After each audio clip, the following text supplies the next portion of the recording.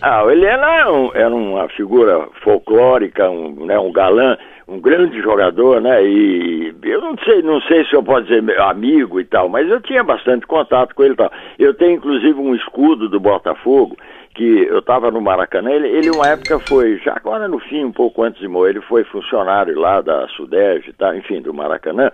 Aí ele me chamou, é, aquele jeito dele, assim, às vezes me assustava, né? botou a mão no meu ombro e falou, você é Botafogo, né? Eu falei, claro, sou Botafogo. Então.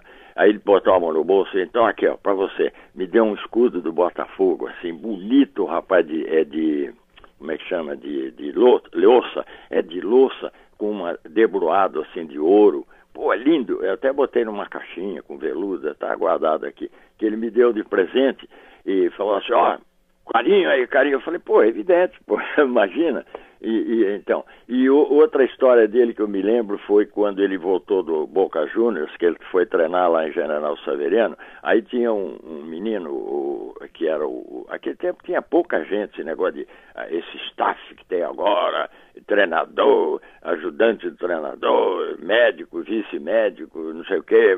Aquele tempo era duas, três pessoas, né? O preparador físico, o treinador e o cara que ilustrava as chuteiras lá e tal, né?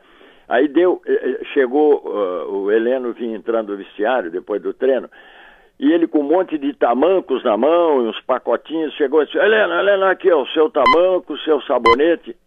O quê? Ele disse, ó, não, estou distribuindo tamanco, o pessoal vai tomar banho para não ficar pisando lá. No... Tá, um tamanco para cada um e o, e, o, e o sabonete. Sabonete, não sei se era leve, GC, um sabonete desses aí daquele tempo, barato. o Heleno ah, tinha uma, tipo uma capanga assim, do lado, abriu, falou, meu filho, tá vendo o que é isso aqui? São pantufas. Eu, no meu pé, eu só uso pantufas, que eram um, chinelo todo acolchoado, e disse mais o seguinte, só uso sabonete Hermotes, que era um sabonete francês que E aí passou a ser chamado de Gilda. Ele tinha, é, exatamente, Gilda, é por isso mesmo, ele tinha essa, mas era Gilda, é, não era no, hoje seria no outro sentido, não era não, porque ele, eu vou dizer uma coisa, o padre, assim, hoje não usa mais saia, né, o padre agora usa calça comprida, como se passasse um padre, bobeasse, ele, ah, opa, de saia, não escapava ninguém. Então... Oliveira ele... Andrade assim também. Então ele ele ele é, falou pro cara, não, não, não, cara, jogou o tamanco lá, eu só uso pantufas e sabonete hermotes. E outras esquisitices, outras coisas dele assim, né? Agora, é, eu, quando ele me deu esse escudo, uns dias. Aí ele sumiu lá, eu falei, uai, cadê o.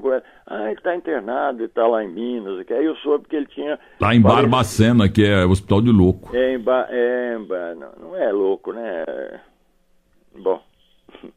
não diria que ele era louco. Ele era um gênio mal entendido, mal compreendido. Não, mas Barbacena tem um manicômio lá. Como eu sei, o, o, porra, você agora. Ah, vê se você me entende. Eu não gosto de dizer que o cara é louco, que o cara tá. Eu, não gosto, eu prefiro dizer outra coisa. Prefiro aliviar um